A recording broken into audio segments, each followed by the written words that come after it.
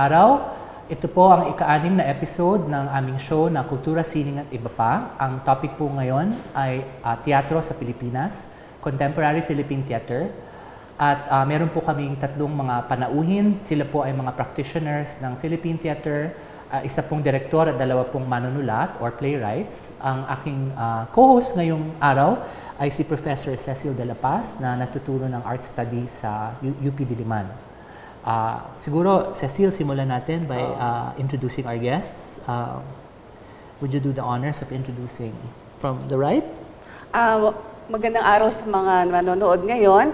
Ang ating mga bisita mula sa UP, Diliman, uh, nagtuturo ng teatro si Professor Jose Estrella.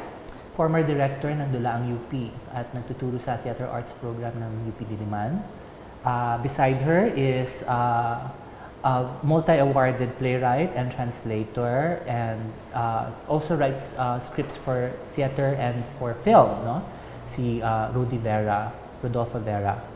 And uh, to your left is uh, Professor of Theater Arts in Ateneo de Manila, a playwright uh, who comes from Panay Island and also is a Hiligaynon playwright, no?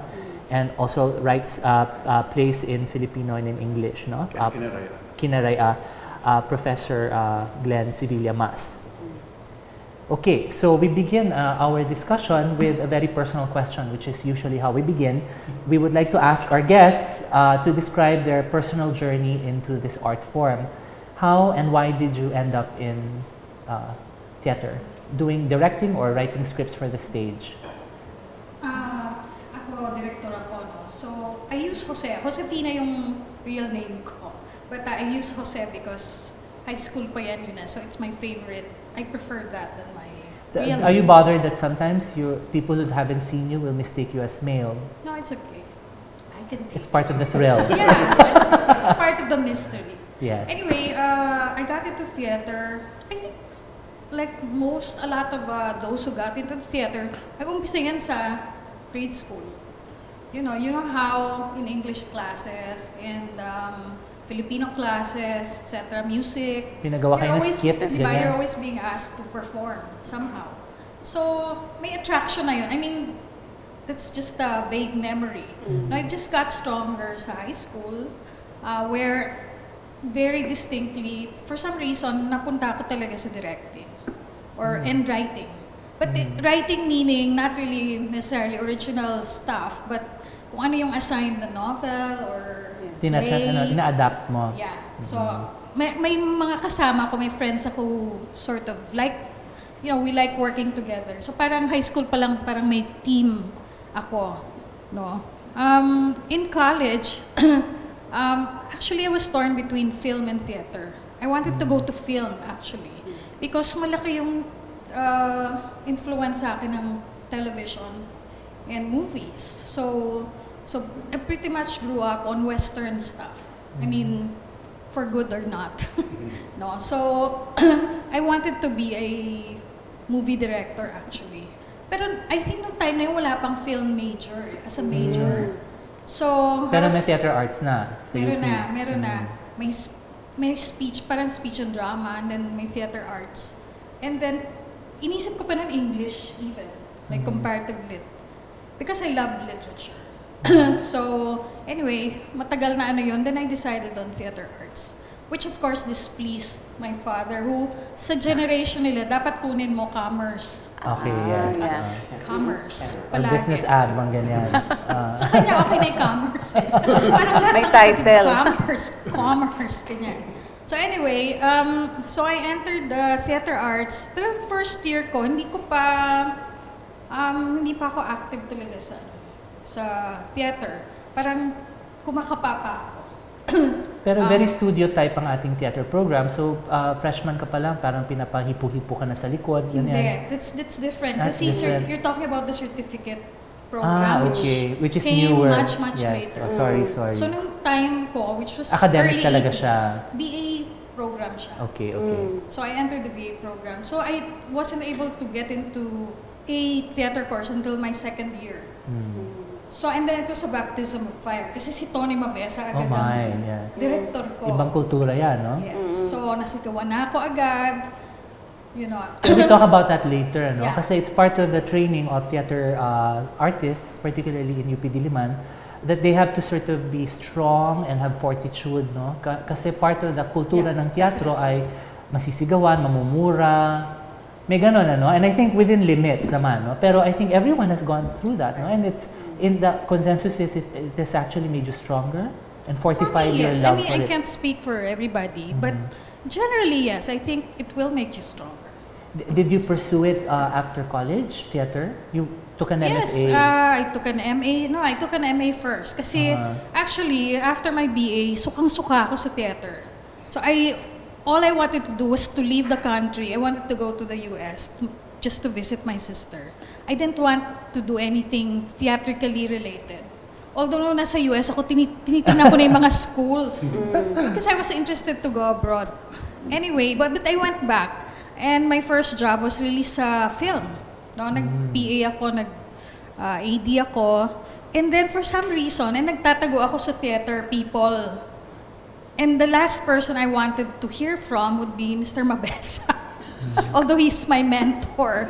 Um, one day, basta after eight, siguro mga eight months of doing film, ganyan, bigla na lang may tumawag sa bahay. And ito na yung booming voice niya, Hoy, sabi ko, magturo ka. Ganun, ganun yung ano niya, no? So, I was parang up against the wall. Hindi ko alam masasabihin ko sa kanya. Sabi ko, ayok, parang ganon. You know, I was really very hesitant because I actually never thought I would teach. Parang hindi yun interesting for me. So, hindi ko alam exactly what made me say yes. Aside from yung, hindi, mahirap humindi kay Tony eh. I think up to now, a lot Let's of people it, would if, say that. if you're, you've been asked to teach naman in a beautiful campus like UP Diliman, it shouldn't be that hard to decide.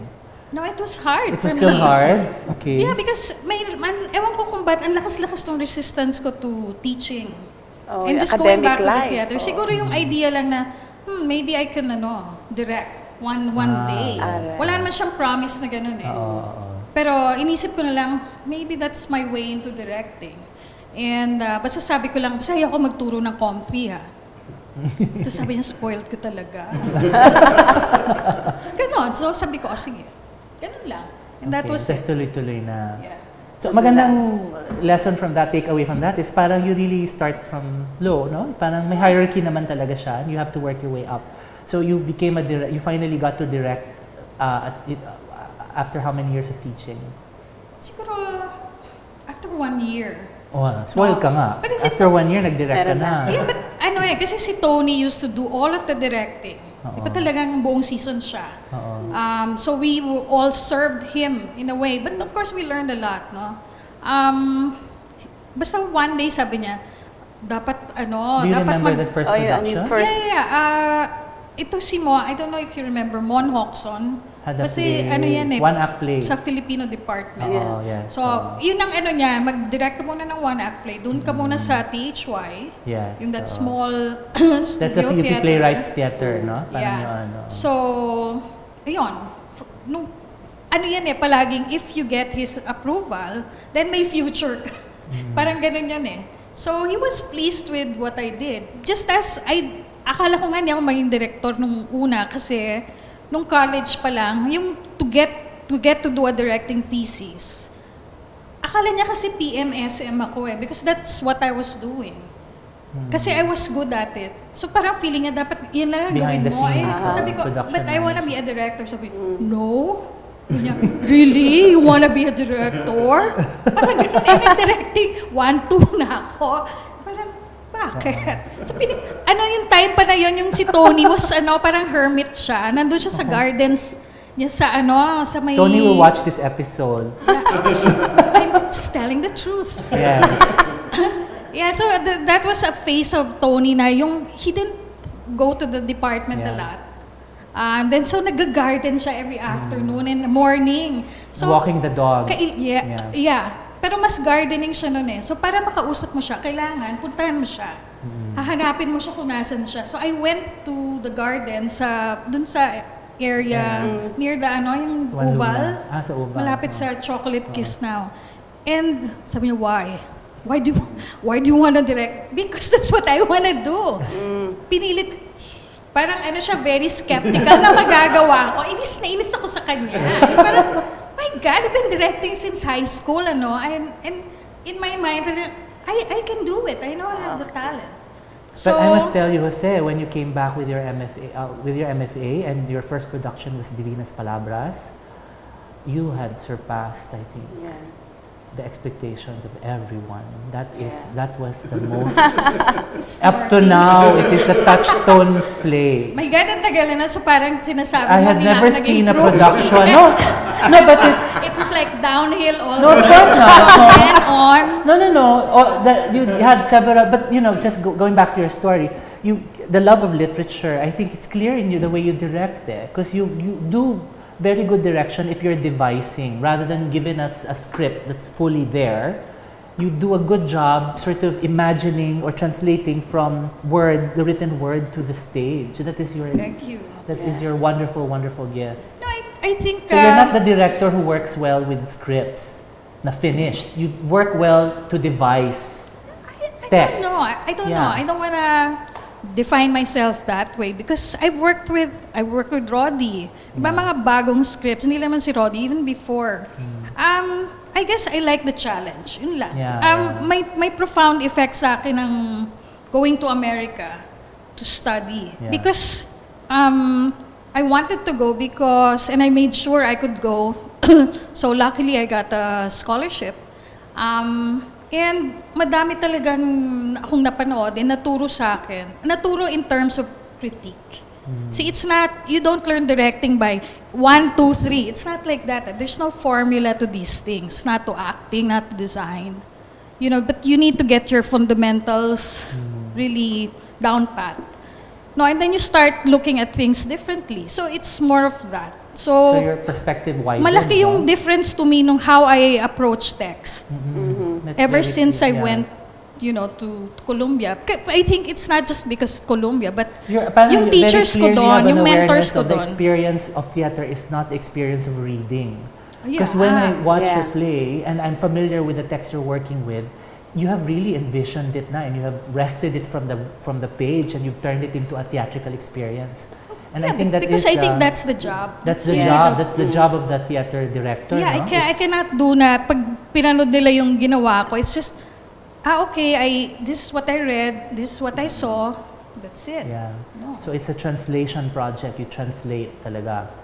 Or re- one- I reinterpret. Yes, I, you know, I, yes. cre- I cre- in, a, in a sense, although interpretation, I'm not writing, I mean something original, but yung reimagining some, this whole, this, this text, Yes. you're reimagining it into a different world altogether. Yeah. That's, that's my thing.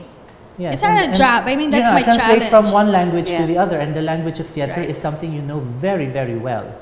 That is why it's a visual and, and auditory language and experiential language, Right. Okay. and that's what you give. No, I'm such a big fan of Jose's Ah. work. It's obvious. Obvious talaga. Such a huge fan. She's our best Thank you. director. Just, I think you say that to every director. No, clearly. Maybe we could, ano and naman. and uh, one of our best playwrights. I can't say the, the only One of best my one, but marami naman sila. But one of my favorites Yes. is Rodi Vera, of course. No, I first saw Rodi's. Uh, I first became aware of his work when I saw the Petter production of Kung Paano Pinatay si Diana Ross, which was Yes. probably your first major. Uh, Ah, hindi naman. Di ba? But that was your the first time I, I heard about you. And I was already blown away by that wonderful script, no? And the director was Soxy. Um, Soxy. That's why it was also handled very sensitively by Soxy. So now your journey. That was a wonderful long journey. Yes. Now we're gonna hear a long journey also. This is Oo, by probably age to longer. mas young. ma- mas, May mas commentary. Roddy has more years, no? Oo. To cover. Ah, ang kasi yung pamilya ko naman uh, well we came from my grandfather established Sampaguita Pictures also ayan na Ah, si Don Pedro doomed ka na, condemned. So pe- pero hindi ako sa film nagsimula. Nagawa. no? Nagsimula ako sa teatro. Katulad niya, katulad ni Jose, ah, grade 2 ang first encounter ko sa theater when I was um, listed to be auditioned sa isang Father James Reuter play. Wow. Kasi nag- nag-aaral kami sa Religious San Beda. theater. Nandun siya, nag- magdidirect siya sa College of the Holy Spirit. So it's a Mendiola Malapit thing. lang. So, yung mga, kailangan niya ng mga bata na mamamatay kasi ginagawa niya yung Francis of Navarre. So, So medyo I was ano one lang, of the Indian extra lang. boys. Oh, extra lang. And I did miserably bad talaga kasi Wala ka naman speaking part, nag-bad pa Oo, rin. kasi may baril yun eh. May, pag nag-sound yung baril, mamamatay ka. Lagi kang eh, tingin. hindi nag-sound yung baril. so, nakatingin hinihintay ko yung baril. Eh, di tumigil yung show. Pero mga ganun, na that was my first encounter. But I loved it so much. Not because I really understood what was going on, but I was with so Can you put your finger on the nature of that love? Even maybe Jose can also try to answer. What is it about theater that's Ang saya-saya nung mga kasama ko. Kasama ko si Vic Diaz, nakala ko nakikita ko siya sa TV na nakakatakot, bandido. Tapos when he's playing the devil in the play. okay. But he's so, ano, he's so, So lovable. And he's so, ano, eh, bata ako noon, ano. So, and then yung mga, yung mga co-actors na, ang saya-saya. Lagi akong maaga pumupunta doon kahit wala pang rehearsal. It's the company, I guess, that that made me feel so at home. Ah, parang gano'n.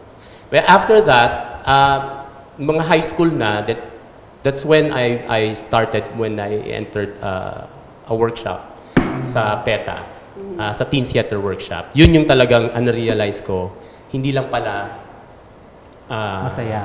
masaya, no? Meron din palang sinasabi. Ah. Hindi lang entertainment. May mga, ex- ano na yun eh, 1976 Oo. na yun Protest eh. So, theater ano yan. na siya, uh, we, our, our way making theater had to be based on the social reality. no? So, ang una na, doon ko na-realize, ah, kailangan ng exposure. So, we were exposed. We went to uh, squatters area, and then we built our improvisations there. So, mas, de, siguro papunta roon, nag, ano na, no, na, nakikita ko na, nag, parang gusto ko, nagsusulat ako, kasama ko sa writer's pool, ng teen theater, etc. So, I guess, maski doon sa, sa PETA, when I entered that, the company, parang doon na nila ako nakikita na yun yung nagiging parang ah, reference ko na gagawin. But I really didn't think of theater as a career. Kasi wala naman talagang career Can we think of theater time. as a career even now? Or is it something like a passion lang that uh, you, and you need a real job? Is Ang, that- ang that- hirap mag-recommend ng... That's the consensus I've, I've been hearing from all the artists we've been talking to in this show, Hmm. even the visual artists, no? may mga day jobs. Tapos this is something you pursue as a passion, which also protects it from compromise. Kasi hindi mo siya talaga pinagkakakitaan eh. Hmm. Ginagawa mo siya kasi mahal mo siya, gusto mo siyang gawin. So si Jose, may day job, ang tawag pagtuturo. Tuturo. At pareho siya ng job, day job namin ni Cecil Oo. at ni, ni Glenn. No? So ikaw, ano yung day job mo? Yeah, full-time ka ba? Ah, hindi. Susulat ako para sa pelikula. Ah, okay. Ah, Dalawang form. Medyo ano, formula films, di ba? Hindi naman while I can If you help, can it. help it. Yeah. Ah, o kung kung ganun man, ah, Mamaya nag-inject ako ng tatanungin ka namin kung similar ba yung karanasan ng pagsusulat para sa teatro at pagsusulat para sa pelikula at ano yung, kung merong kaibahan, ano yung mga differences Sige. na yun. Sige. Mamaya. Pa- pa- kasi yung kultura rin, very different. Kahit pareho silang collaborative, di ba? Oo.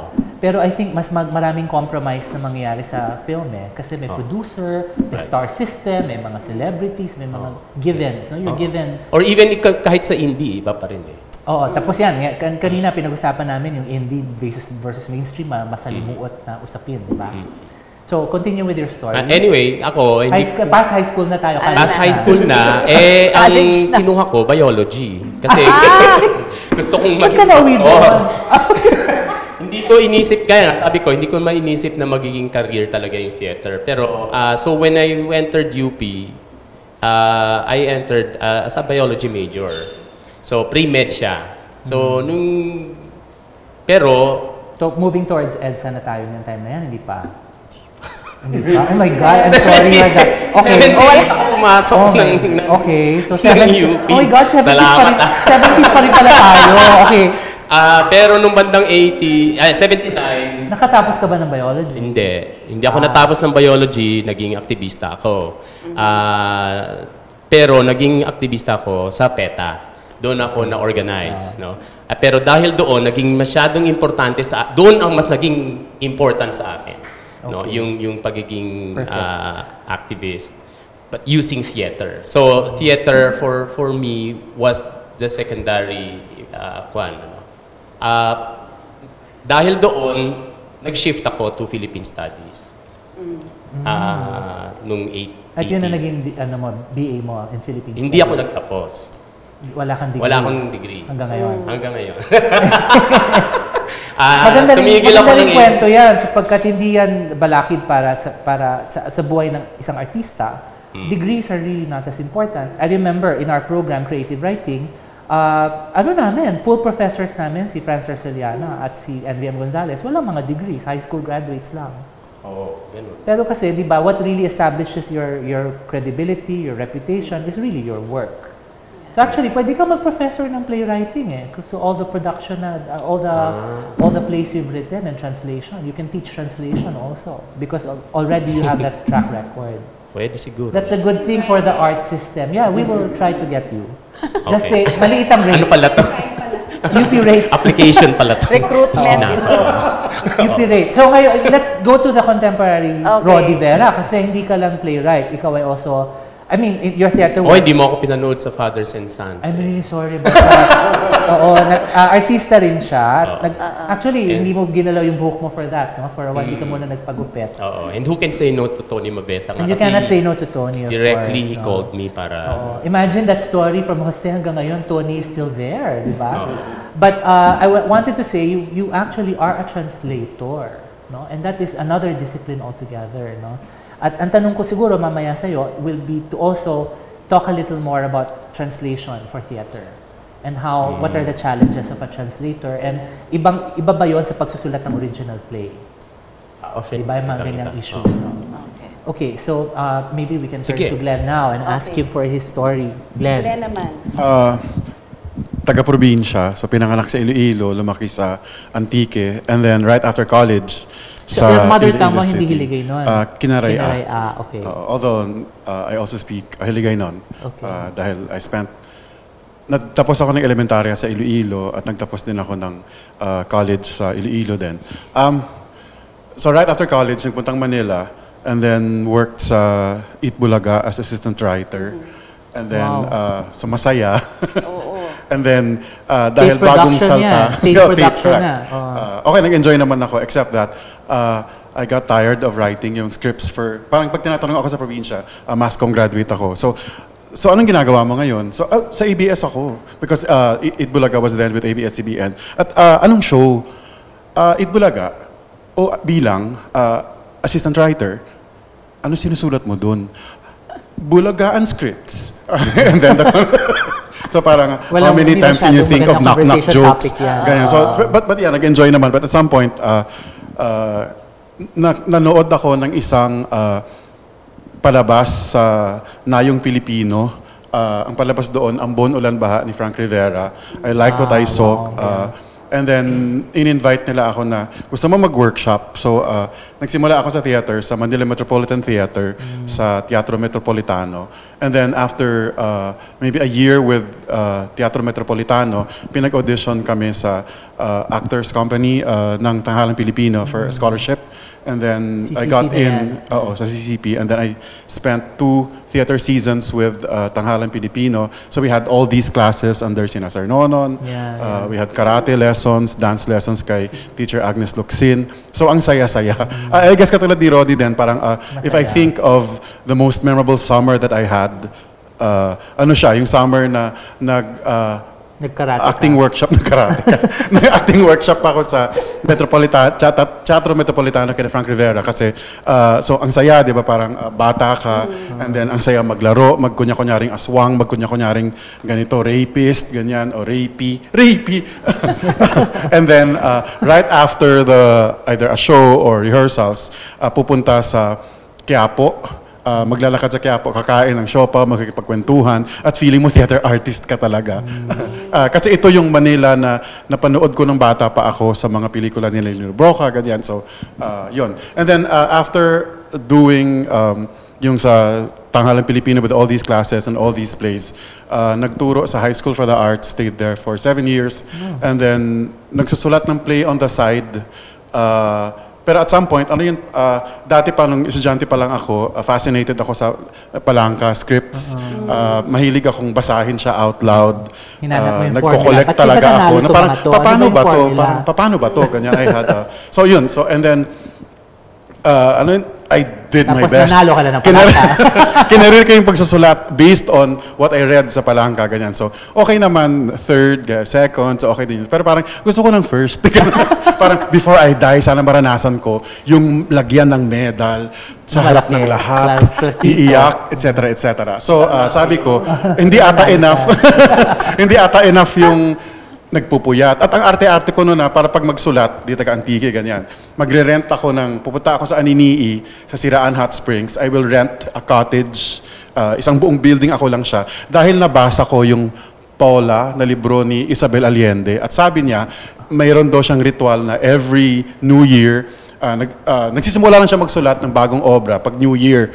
Ah, so habang wala 11.59, wala pa. Pag 12 o'clock, magsusulat na siya. So ginaya ko siya. So nirent ko yung buong, during the day, nanonood na ako sa mga naliligo. Uy, hello, kumusta kayo? Ganyan, ganyan. Ah, ako, ka, artist ako. Um, I'm preparing myself. Ah, actor training kasi to.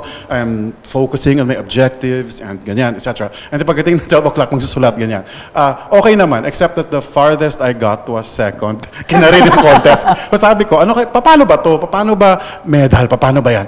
Ah, so I thought of an MFA program. So nag-enroll, nag-aral sa katulad ni Jose sa Amerika. Ah, and then on a Ford Fel- Foundation Fellowship. And then on my first year of graduate school, so kinarir ko talaga siya, di ba? And then, ayun pala, ah, I didn't have ang exposure ko sa Shakespeare, yung napapanood ko lang, ah, usually sa pelikula pa. So sa grad school, sumakit ang ulo ko dahil may mga classes na we will talk about talaga. four Shakespeare plays in one lecture. Pero, paano? Parang I'm representing na nga my country. And ano, so paano ito? So anyway, so uh, yun, so inaral, crash course, etc. etc. Kinarir ko talaga siya.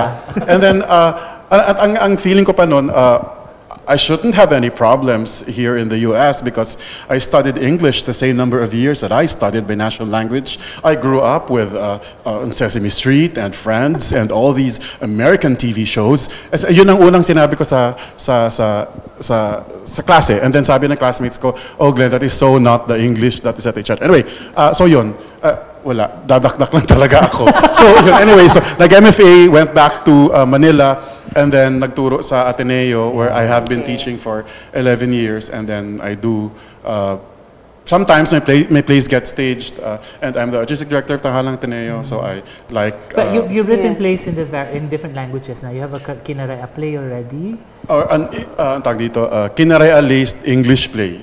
Oh, Uh, pa- pero nandun na. Your Yeah. linguistic uh, uh, plurality is in the Ah, things you write. No? That's a good Ah. development. Yeah, uh, yeah, and I encourage my students to do exactly that also. yes, so yes. I've had some I wonder students. if the, the Palanca should have a category na mixed language para ma-free na siya. So I'm Oo thinking, nga. particularly for, na- now the next question is Philippine theater in English, original Philippine theater in English. So many of the award-winning, kasi it's a category that's still alive. The Palanca still has a short, uh, a one act and a full-length Full-length. uh, uh, uh, category for theater in English. It used to be that when you, people like Wilfredo Maraguerrero and, and uh, let's say Montano, Severino Montano were alive, there was really was a Philippine, uh, original Philippine theater in English scene that was practically all that there was. Wala naman talagang uh, theater in Filipino then. And these plays, judging from the biography and from the accounts I've been reading, were really being sort of like moved from venue to venue around the Philippines and may audiences siya, no? in public school system basically. And can you imagine how, how it must have felt to be a member of that audience watching this play, right? Like Sabina by Montano, which is set in the rural, in a, a rural place, but it's an Anglophone play. They're all speak. The characters are all speaking in English, right? And it's obviously translated because people like Sabina and the others wouldn't have spoken perfect English throughout, like for one whole day talking in English to each other. So that that kind of theater, it's I don't know. We can't suspend our disbelief anymore about that.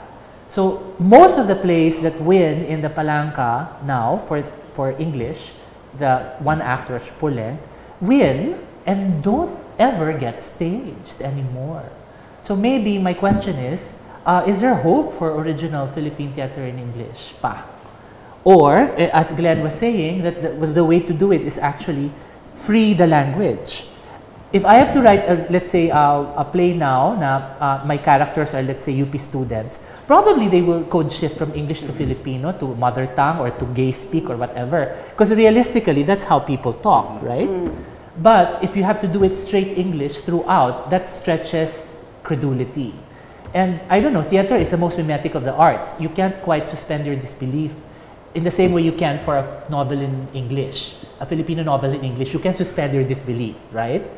Kasi sabihin mo, hindi naman realism talaga lang yan eh. Maybe it's magic realism. But theater, you expect imitation of life. So it's hard, no? So maybe my question is, um, what you suggest to the palanca? To, to just dissolve the category? Or, or maybe look at some of these plays that have, have won and maybe translate them into Filipino. Will you be willing to do that, Roddy? Pa- para maipasok sa... Para lang ma-stage sila. Ang daming nanalo na. Ilan na siguro, ilang two decades worth of plays na hindi na i-stage. Actually, magandang idea yon And we've been, we have done that in PETA. Yung, yung, actually, yung play ni Nick Pichay na ah, Ah, tungkol yes, kay in Plaridel. Yes, oo. Di ba? It won Ah, in it won in, English. the, in English and Yes. then we had it translated into Filipino become bago stageable, it had to be. Filipino. But I think one of the more successful uh, playwrights writing originally in English now is Floy Quintos with his Evening at the Opera, yung kanyang Fluid yata was in English was it? Mixed. no? So, if, if, eh, parang Angry Christ. Uh, I mean, nag, nag-ano siya eh. Eh, eh, Pero si, may, pag ganun yung play mo, limited yung, yung world. No? Like yung Angry Christ, for example. Eh, well, oo nga, nag-English sila lahat. Pero si nagko-code shift din, nagpapalangga, nag-iilonggo yung Oh, pero characters. smattering eh. lang eh. Liit lang Smattering. eh. Oh, actually, siguro baka nga kung, kung gusto mo pag-isipin, baka lang. ano pa lang siya, eh, baka directorial pa yon. Or let's, let's put some, some, I mean, it goes along in the, in the process of rehearsal, Yeah. ano? but as a playwright, he would, I, I would like to believe that he wrote it in English entirely. And then, tsaka, tsaka ginanon, ano, para magkaroon ng flavor dahil kailangan i-locate yung, yung play, parang ganun. So, I, I- hindi ako masyadong maano dun sa ganun. Kasi ako, pag nanonood ako ng play, at sinet na, sinabi ng, ng ano, that this play will be in English, pumunta ako doon, tapos nung nakinig ako, in-expect ko naman na mag-i-English, nag-i-English naman sila, o di, sige.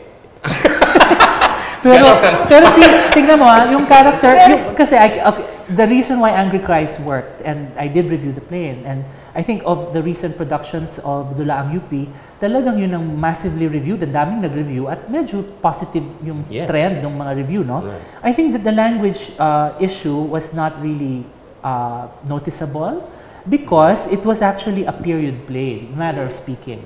And the main characters are actual Ingleseros talaga. They're like Filipino-Americans, di ba? But the Tapos, tenants- But the tenants, you see the peasants, uh, in the province, particularly of that time, no, nag-Inglisa naman din talaga. Nagtatry, yung, yung parish priest, di ba? Parang nagtutalk siya in English. Tapos nakikita mo naman na yung ka- character ng English, yung quality ng English ng mga kausap niya, is actually very local. So na-localize, I think directorial na lang yun siguro, no? Probably on the page, it must have It sound must- like, yeah. sounded stand, like standard English, Right. but the delivery of it made it local. So that probably is the way to do it, no? But I think those are exceptions. If you did the play now, and the characters are talking to, let's say, banana cue vendors or mga ganyan, tapos nag-Inglisan sila, it will be hard to suspend your disbelief. Kasi theater siya. Meaning the mimetic requirement is quite strong. No? Well, if, if, But if it's a film, I think it's... But then if you if Even you extend film, that yes. argument, uh, like for example, yung pelikula ni Mes de Guzman na Diablo, it was set in Ilocos, but it was people were speaking in Filipino, no? So tapos may smattering lang ng Ilocano. Ah, pero minsan may merong Ilocano actor and he will allow this actor to talk entirely in Ilocano. Pero So, kasi kumbaga, walang, walang, ng- walang baggage naman ng Filipino versus uh, as vis-a-vis Ilocano and the others. But if you're, if you're talking about um, like, verisimilitude, if you're talking Ah. about, di ba, medyo, ay, bakit, bakit siya nag, ah, kasi, Iba But we have a, but we have a Filipino national discourse kasi and we have the bilingual pal- policy. So all north and south of the country Filipino is being taught and read and spoken, di ba? So that's a little different I think from the English thing. Pero sa akin really kasi makes it a pagka class nag- question eh. pag sa atin, pag Inglesero, class, di ba? May parang, ay, Inglesero siya. so, nagpi-Filipino or nag-Ilocano, pare-pareho silang Pilipino. Parang gano'n, parang may ano siya, Oh. may... And then, okay lang din yon kung kunwari, eh, kung kunwari yung Angry Christ ba ay ano ba, ang, ang mga nag-appreciate ba dito ay medyo nasa high class ba? Pagka ba kunwari nanood yung well, yung pesante, na, I know, I don't- I- niya, yes, I think the peasant would have- register a different uh, reaction. Yes, certainly. no, that play, the problem with that play, if at all, is that it actually idealized the peasant.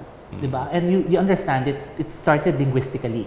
Right, That's the right, first. right. And then ideally, but that play is, uh, for me, it wasn't realistic entirely nga eh. Mm. Kaya Kita naman siya din, ah, parang may, meron siyang transfigured reality siya eh. So, So I guess baka rin nasa intention nung nung Nasa mode, writer. no? Kung At yung mode ano mo, yung hindi niya. talaga- Correct. Like when I wrote when I wrote Dreamweavers. Ah, yeah, it was it, it, it- that is in English and they were Yes, like yes. workers, Yeah. peasants, etc. But then But it the was a practical is- decision yeah. because it was supposed to be performed in the Netherlands. Yeah. So yun yung touring ano nun. Nung, nung natuwa naman yung mga artista pagdating dito, halika gawin natin, ginawa. And it's still, I guess, Mm-hmm. Did it was work? still, yeah, it worked kasi pinalabas namin sa RCBC eh. yung doon pala pala. Oo, Kaya mag-work sa Ah, kasama sa season ng Romeo and Juliet. Oh, yun na nga. Mga ganun. Kasi yun ang tanong ko, baka is it market-driven then? Meaning to say, alam nyo na yung audience nyo beforehand. What if sa university, di ba, may English version, may Filipino version of the same play. Does that uh, affect yung decision do sa language use? Or like you were the director of Lula ang UP, you had to program the season ahead, no? So, meron ba may mga obligatory gestures na kayo? Oh, in Shakespeare yan kasi may audience yan. Yeah. Uh, Eng- uh, high schools require Shakespeare plays, so kailangan may Shakespeare. O kailangan meron tayong Filipino, Filipino. nationalist play or something like that. So, meron na kayong ililinya for that. All of those are affected also by marketing, di ba? And you Or think programming about lang. programming and looking for audiences. Right. Well, college pa lang when I entered lang UP, ganun na eh. so napansin ko yun, may ah, English version tsaka may Filipino version precisely because of marketing.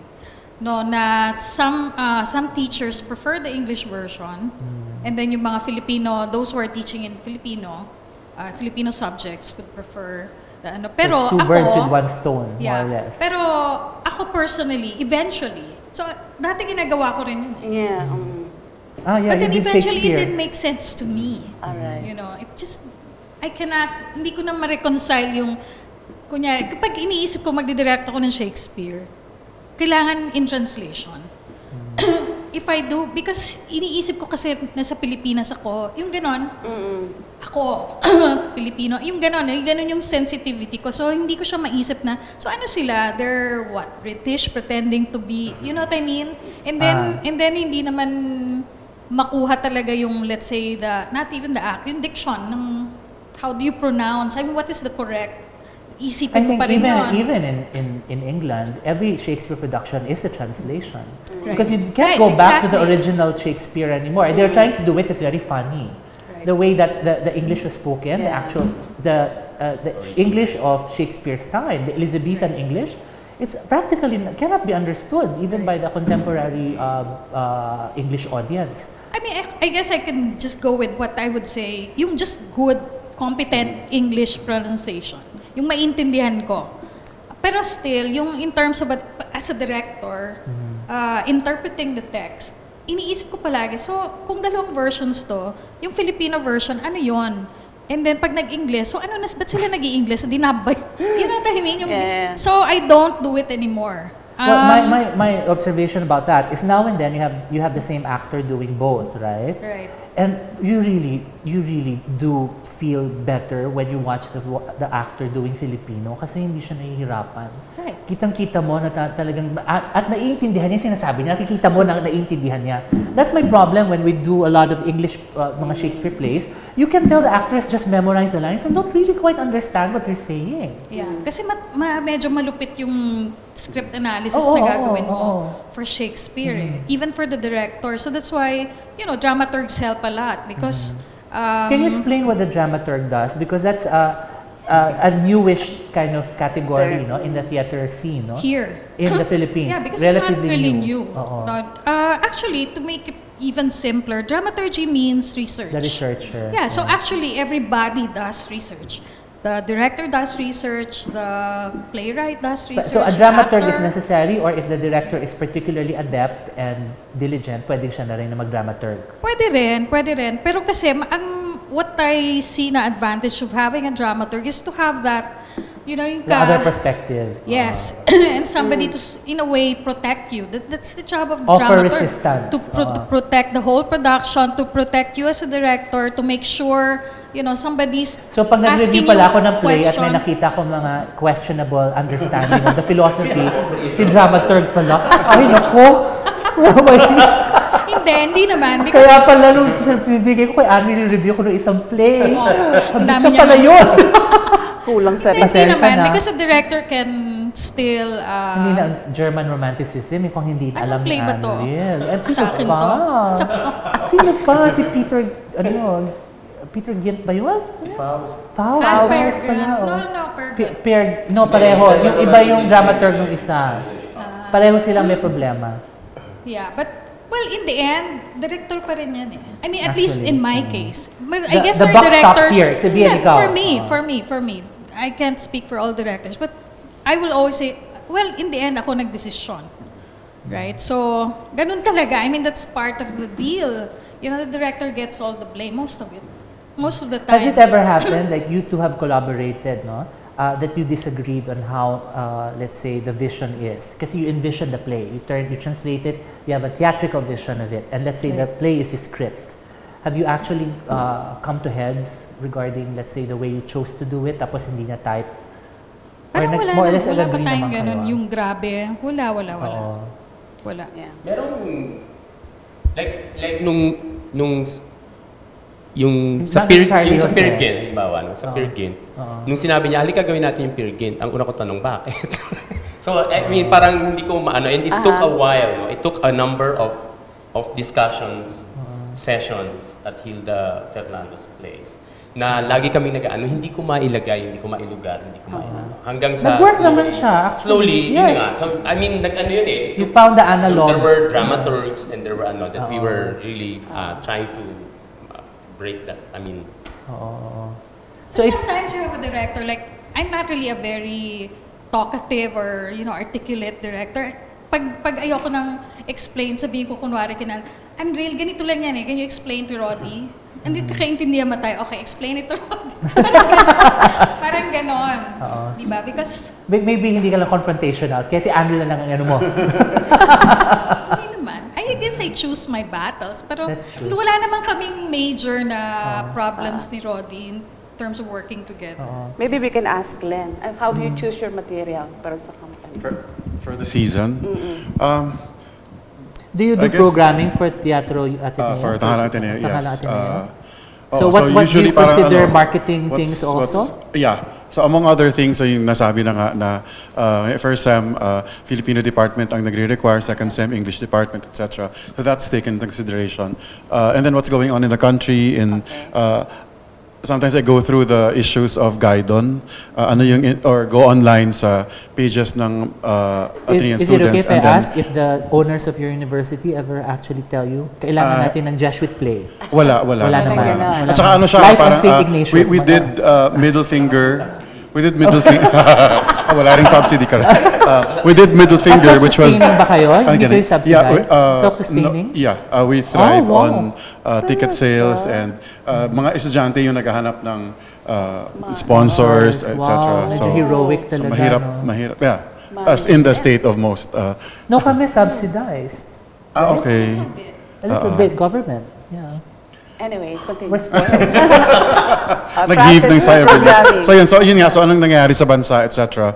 And then, uh, so kunyari sa second semester, uh, we're doing uh, Lisistra Tamarawi, parang ganon. Uh, yeah, and then we did Middle Finger before, na nanood naman ng mga Jesuits, it's anti-Catholic. Uh, yes, yes. Oo. But, but they liked it naman. Actually, I was just kidding. The Jesuits are the most open-minded. Yeah, exactly. Yeah. Oo. Kahit sila nga mauuna, pag, na, pag they'll be the most troubled of all pag nakita nila masyadong pious, di ba? Uh, uh, uh, uh, so yeah. Now, since you, this is still academe-based theater, and of course, Mm-hmm. you Dulaang UP academe-based, no? UP theater. Uh, you have done non-academe-based, no? ah. PETA. Can you uh, can we sort of talk about the difference between academe and non-academe-based theater? Uh, what would be the most important difference, and uh, what are the advantages of doing academe-based theater, for example? Now, you've done Oh, kasi PETA, you've so done both what- eh, di ba? Oh, let's hear from Roddy. Di, kasi PETA is also a peculiar ano din naman eh, theater company educational eh. din Kasi siya. educational theater Oo. siya. Ah, pero at the same time, during that time when I entered, ah, mas ano siya sa socio-political issues. But, but PETA has been doing musical plays now. Like, Right.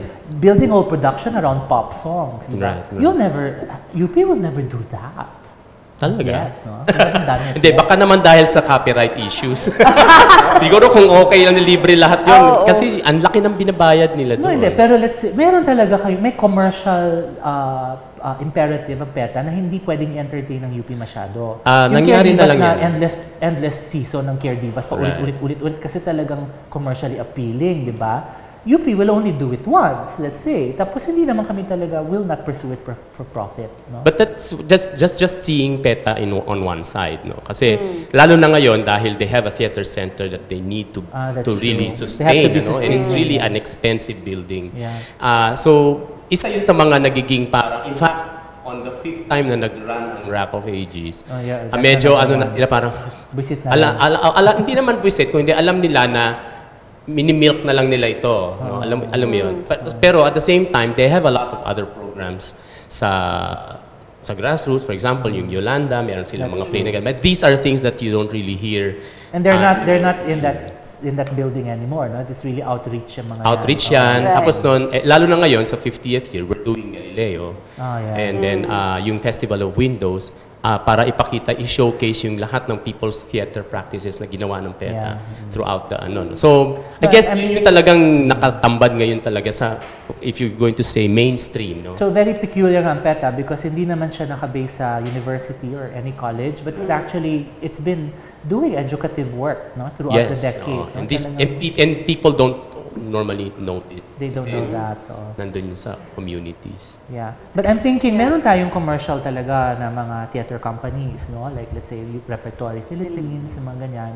Or, uh, ano pa ba iba? Yung mga actors-actor, mga ganyan. Or New Boys, no? They're still into producing. And talagang kailangan talaga sila, they make profit, no? Kasi that's the way they assure uh, future production. So, so, very different set of variables and sort of constants, no, for them, no? Yeah. pag academe-based yung theater, more or less, uh, meron din tayong, we have to work with ano, the curriculum, no? And, you know, make sure that we have a, a Shakespeare play, ganyan, kasi it's required, etc. Okay. Now, uh, how do we ensure quality control, I think, in theater, no? Uh, uh, do, are you uh, sensitive to uh, critic, critiques? Do you, do you read reviews? Uh, are you uh, happy about critical recognition? Do you like like you, no, joining the palanca, no, for your your scripts, no? Uh, is it important that you win? Have you have you uh, have you ever written a play that ne- you never entered in a palanca or that you entered that that didn't win and yet you actually believe is better than some, than some scripts that won? Yes. Yes. but you're already a Hall of Famer, aren't you? Ah, yeah. oo. Okay, so y- we shouldn't listen to him. Glenn, wala pang masyadong Hall of Fame, no? But uh, is critical recognition important? And is that a good way to assure quality in, in the theatrical Uh, practice? as far as uh, sa Tanghalang Ateneo is concerned, uh, yan, nag, nag- nagbabasa syempre ng uh, what other people have to say about the production. Kasi to begin with, di ba, uso naman sa, uh, sa, th- sa theater yung uh, merong like a PETA night or merong bloodbath right before opening. That's and of true. course, you are interested in hearing what uh, your call it potential audience members night, have no? to The say. critics night, Correct, sa critics critics night. Or in our case, kunyari, kung nakamarket siya sa Filipino department, then the entire department watches and then gives comments. But in the long run, um, So, so okay siya na opportunity to know what your audience is, uh, what your audience thinks about your show. But in the long run, uh, kung minsan you agree with reviews, you not agree with reviews, so okay din siya. Although maganda syempre pag okay ang review, pwede mong magamit sa pag-market ng show. But other than that, uh, Hindi, pero as a writer, yung, As a mga, yung writer. recognition, you, you kept entering the palangka, sabi mo, it's important to be recognized. I haven't joined in a long time. Pero yes, I think it's one way for a new writer Beginning writers, to, di ba, no? napapansin. And more than mapansin, I guess, in joining writers workshops, for instance, it's aside from the na pumasa ka and parang in-announce sa lahat kasi may press release, blah, blah, blah. But other than that, it's the opportunity to meet, di ba, the, the literary lions, uh, people you look up to, and then uh, Yeah, get the for any new of, new uh, artist, it's important to be validated Yeah, because uh, it's uh, such a uh. counterintuitive decision. Why would anyone want to be an artist? Mm-hmm. right? And so you do want to get affirmation somewhere Uh, that your decision is actually the right one, right? And it comes in the form of awards, no? uh-huh. And I think the Palanca is, let's be fair, it's actually one of the better uh, uh, awards to get because uh, hindi naman siya cabal of like uh, groupthink eh. Uh, your play that you enter now may lose this year because the particular composition of the judges is not inclined that way. Enter it next year, magbabago yung composition ng judges.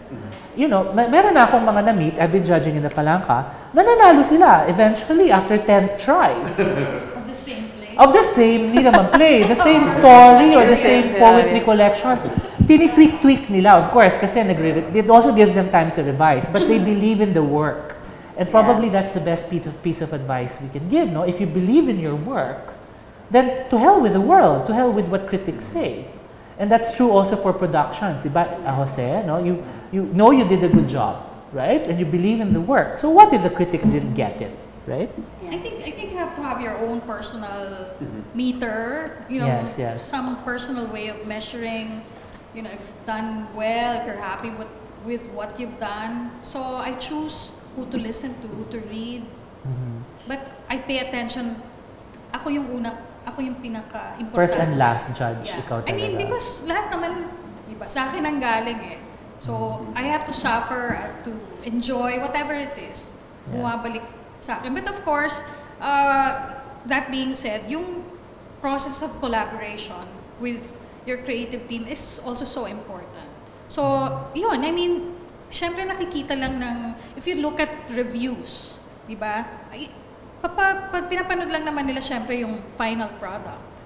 Um, they could, they might come on a bad day because you can't, ano eh, you can't sort of, pa, hindi naman parang ano yan eh, anong tawag doon, yung it's perfect show every time because actors are human, you know, yung staff, ganun din, nagkakaroon ng tech problems and so on. So sometimes it's a bad day, whatever. I mean, those are just little things. I mean, of course, you can just be a bad director altogether and production is really bad. But if you don't have some way to measure or to say, yung parang self-awareness na, God, ang pangit itong show na to. Di ba? Kahit natapos na. Kasi, ginagawa mo yan, paninindigan mo, kailangan panindigan mo yan. No matter what. It, you know, it's like the child, the ugly child, na only you will really have to love it minsan yung collaborators mo, iiwan ka na or hindi ka na pinapansin, hindi na sila nanonood, but you have to be there for your actors every single time. You can't abandon your actors. Sila rin, they're in that terrible position, terrible but exciting position of facing a live audience who would, you know, clap for them, whatever, Yeah. not react to them. Eh, th- That's why it's props to theater people because it's really, you are really putting yourself there to be judged, no? Yung film, you can actually more or less detach yourself from the product eh. But theater, you can't. You're there physically. If you're the actor, if you're the director, you, the audience reacts like instantaneously, right? And you get to bear the, the reward, eh, you get to receive the reward or bear the consequence if it's a bad production. Now, we uh, unfortunately have no more time, and so we would like to ask all of you to uh, uh, more or less uh, give your last words. Probably your last words can be also a bit of an advice, Advice. for theater artists, no? Uh, whether they're actors or dir- uh, future directors or playwrights, no? Uh, uh, maybe a words of encouragement would be another way of putting it. Uh, what should they prepare for? What, what, what does this calling or vocation require? What should you have? Uh, we begin with Glenn. Para yes. advice line. So mag-theater, di read uh, as many plays as possible, watch as many plays as possible, attend ito mga festivals all over, uh, Virgin Lab Fest, short and sweet, etc. Uh, sana develop uh, kind of friendships with uh, uh, some theater people that you look up to, uh, get mentored by people you look up to. Do you, re- do you recommend getting a degree? or Um, Getting a degree studying? helps then because uh, diba, the university will make things a, a bit easier for you by diba, uh, introducing you to professors and uh, industry people. Uh, yun. So, persevere and hard work and uh, nothing beats yun, diba? So, Yeah. Should we, you also fall in love while you're? Kahit naman yata anong career mo. Nakaka-add ng spice yun. Yeah, okay. Diba? Be Pero, inspired. Oo. Okay, uh, bits of advice from Di, para sa para sa akin, I guess ah, ang pinaka practical especially since I was ah, advisor for Philippine High School for the Arts for for for theater Good number of years. for a good number of years. Ah, ang na-realize namin importante na sumali sila sa isang grupo or magtayo sila ng isang grupo na nagpa-practice ng theater. Dahil kung hindi, then hindi nila na-realize yung possibilities nito for turning it into some kind of sustainable, you know, uh, that will keep them sustainable. Di ba? Ah, kasi yung iba sa kanila, pagkatapos graduate, they head on to other different, ano, katulad ko, no? If I were, kung tumuloy-tuloy ako, I would have been a doctor. Dami mo na sana. Or a Siyempre. nurse. pero, pero para sa akin, so importante may, may na... communal, may communal Yeah. nature ng theater work. Oo, so it's eh. good to be in Yeah. a community. Oo, eh. A, a play like a playwright cannot survive alone. He has to find some group or person who will be Yeah. interested to stage it, and that already is a group. And also for actors, no, it would be good to be part of a company or a group as Or well. at least um, you always to, you keep together. Parang ano yun yun, yung you're, you're either kung tanghalang Pilipino yan or even sa UP, etc. Doon mas pinaka makikita mong pinaka-active yung yung mga individuals ng theater. Eh. So, Yes, yes. That's wonderful advice. And Jose, actually, yung kinabi mo kanina, advice na yun. Yung huli. Ah, more, more. No, I- ah, ano ba? You, you, you can't do theater, you can't be in theater without doing theater. So, you know, just to supplement what they said. You As a- learn by practice talaga. Yeah, you cannot learn theater through books. It you have to practice it. Yung iba naman, uh, like madaming magaling na director na hindi naman nag-directing class, but they for some reason they kept doing it. So so with actors, a lot of actors, 'di ba sa film ganun Walang din. training. Hindi Walang naman formal training. hindi naman tayo, yung industriya natin, hindi kasi laki sa Amerika or sa Europe. No? So, madaming pagkukulang sa curriculum. So, you, so kung ano man yung kulang doon sa ano, you need to keep on uh, looking for work, for projects. Di ba? Yung mga director, parang how do you get to direct? Ang hirap nun eh. So, it's either you found the company, yon puta pa, which is so difficult. So to me, kaya, kaya ako siguro na ano magturo because nakita ko agad yung connection. Okay, I'll teach, pero that, to me, the price is really to be able to direct. So you need to find that or you need to ano you need to start apprenticing with directors you like. You need to start looking for good people na you want to work with. Yeah. Yeah. Look for a mentor. Yeah. Lalo na dito, it has to be so informal eh kasi it's not the industry is not that big. It's not Yeah. that big. Yeah. Okay, thank you very much to all our guests. Uh, yet again, we uh, find ourselves uh, running out of time. We would have wanted to extend the discussion to forever. So many other issues uh, to cover, but I hope you guys, uh, viewers of this show, have uh, enjoyed our episode today. Uh, uh, look, we look forward to the next episode, and so uh, till then, goodbye.